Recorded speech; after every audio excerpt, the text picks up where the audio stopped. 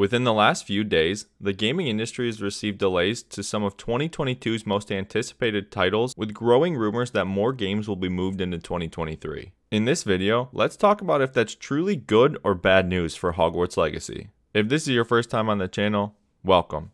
Hit the subscribe button to join our growing community. For those of you returning, welcome back. With that being said, let's get right into it and talk nerdy. On Thursday, May 12th, Bethesda took to Twitter dropping an absolute bomb. They announced that both Redfall and Starfield were being delayed. The tweet claims that the studios want to ensure that the consumers receive the best, most polished version of the games. This is huge news as these are two of Xbox's big title games coming in 2022. Redfall had a summer 2022 release date and Starfield had a November 11, 2022 date. Yes, Starfield had a set in stone day that the game was supposed to come out. With the already announced Bethesda event on June 12th, this early news is probably to soften the blow and temper expectations for the event. In terms of these two games, Starfield is a larger delay as the game was originally announced at E3 2018. It's been reported that the game has been in production since 2013. Redfall, on the other hand, was a surprise announcement in 2021. Starfield is now the second pillar game of this year to be delayed.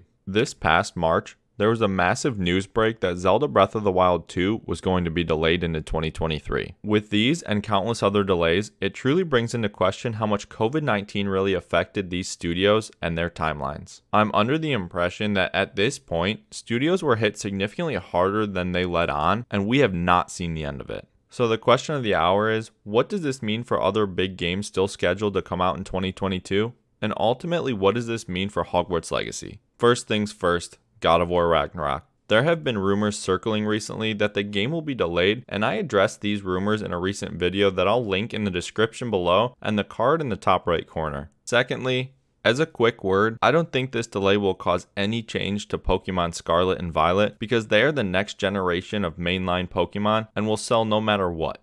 Most importantly to me, Hogwarts Legacy. I think this is great news. I previously made a video about how Hogwarts Legacy may only have the potential to be released in December due to all the games that could come out in November, but with Starfield moving into 2023, it opens up more available dates where Hogwarts Legacy could be released without overlapping with another huge title.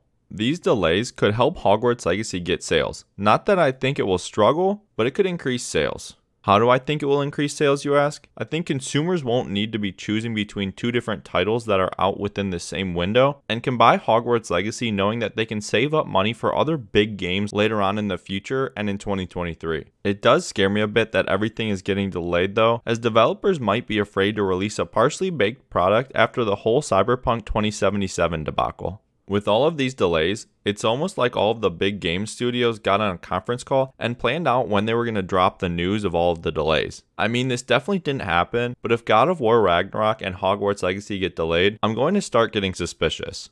As a quick side note, I've seen a ton of content creators talking about the recent Gotham Knights news that they are dropping the PS4 and Xbox One versions of the game, and they are afraid that Hogwarts Legacy will do the same. I thought about making a video about this, but in my opinion, making a whole video to claim one statement Hogwarts Legacy is coming to the Nintendo Switch. If it can run on the Switch, it can run on the PS4 and Xbox One, just isn't worth it to me, and I would have to drag out a whole video from that one sentence.